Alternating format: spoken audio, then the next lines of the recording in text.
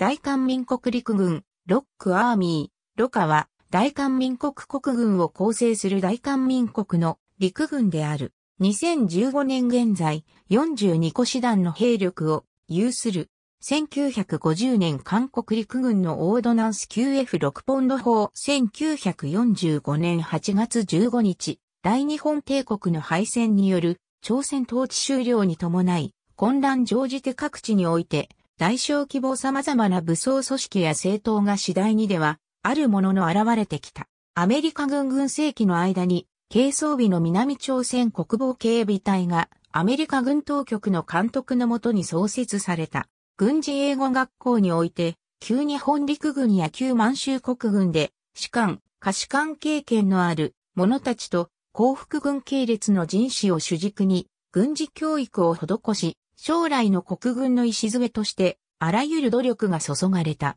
南朝鮮警備隊から大韓民国陸軍への移行期には、李承晩政権の反共主義政策から、チェジュ島4.3事件、冷水、順天事件、危機喜び虐殺事件などで、南朝鮮労働党員をはじめとする、朝鮮人共産主義者への弾圧を実行している。1979年10月26日の僕、正規暗殺事件によって、僕正規政権が倒れ、ソウルの春を迎えてからは、次第に強権的な一面はなりを潜めつつあったが、翌1980年5月に公衆事件が発生。国軍に対する国民の目が一層厳しくなる結果となった。1980年代後半からは全身的に近代化を図っており、それまでアメリカからの供与に頼っていた装備を続々と国内開発の兵器に代替しているほか、経済借款返還の一環として、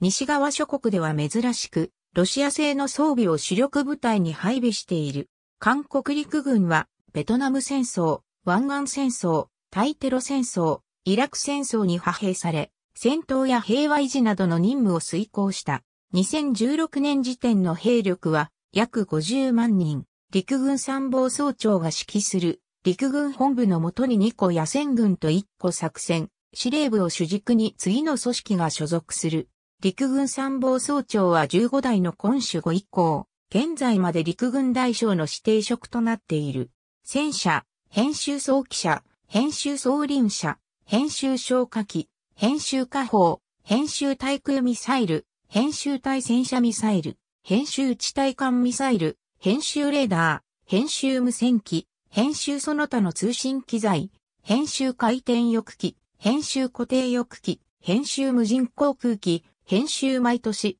10月1日は韓国陸軍記念日である。ありがとうございます。